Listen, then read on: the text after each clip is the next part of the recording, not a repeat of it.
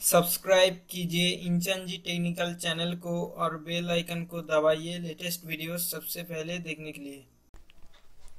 नमस्कार दोस्तों, मैं हूँ इंचन शेख और आप सभी को स्वागत है मेरा चैनल इंचन जी टेक्निकल में। दोस्तों, आज इस वीडियो में मैं आपको दिखाऊँगा कि कैसे आप अपने विंडोज़ सिस्टम की मदद से आईबॉल बेटन राउटर को फुल कॉन्फ़िगर कर पाएँगे विथ स्टैटिक आईपी तो फिर चलिए शुरू करते हैं। तो दोस्तों, सबसे पहले आप अपने कंप्यूटर में फेवरेट ब्राउज़र को ओपन कर लीजिए। ओपन होने के बाद उसका जो सर्च और टाइप यूआरएल ऑप्शन है, वहाँ पे आप अपना जो आईबल बेटन का जो राउटर है, उसका जो डिफ़ॉल्ट गेटवे है, उसे लिख दीजिए। 192.168.1.1 और इंटर कर दीजिए। एंटर कर देंगे तो आपके सामने आईबल बेटन लॉगिन पेज आ जाएगा। यूज़र नेम दिया ही होगा। आपको बस पासवर्ड डालना है, वो है एडमिन लिखने के बाद आपको ओके करना है और ये सब आपको अपनी राउटर के पीछे स्टिकर में लिखा हुआ मिल जाएगा। दोस्तों लॉगिन करने के बाद अगर आपके सामने ऐसा पेज आता है तो ठीक है बट अगर आपके सामने इस तरह का पेज आता है तो आप तो आप सिंपली एडवांस सेटिंग में क्लिक कर दीजिए। एडवांस सेटिंग में क्लिक करते आपको फिर से इस तरह का पेज आ जाएगा आपके सामने। उसके बाद आपको अपनी बाई ओर मिलेगा O N setup W A N setup तो आपको वहाँ पर क्लिक करना है।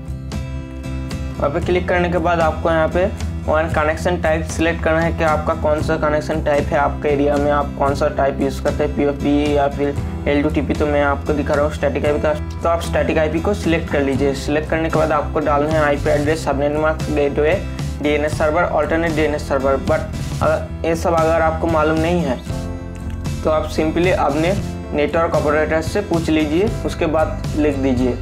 लिखने के बाद आपको नीचे की तरफ़ मिलेगा ओके का ऑप्शन तो आप ओके में क्लिक कर दीजिए। तो आपका कॉन्फ़िगरेशन सेव हो जाएगा आईपी का। उसके बाद आपको ऊपर की तरफ़ मिलेगा वायरलेस सेटअप तो आप वायरलेस सेटअप में क्लिक कर दीजिए वायरलेस कॉन्फ़िगर करने के लिए। करने के बाद आपको मिलेगा प्राइमरी एस एस जो आपके मोबाइल में शो होता है वाईफाई कनेक्शन करने के बाद। तो आप यहाँ पे, आपने जो मन चाहे नाम है या फिर मनपसंद नाम है, उसे लिख दीजिए। जैसे कि मैं यहाँ पे दे रहा हूँ इंचन जी टेक्निकल तो आप जैसा चाहे मोबाइल में दिखाने के लिए कर सकते हो। लिखने के बाद आपको नीचे की तरफ़ फिर से ओके में क्लिक करना है। ओके में क्लिक करते हैं आपको फिर से ऊपर से एक और पॉपअप पेज आएगा। वहाँ पे फिर से आपको ओके करना है।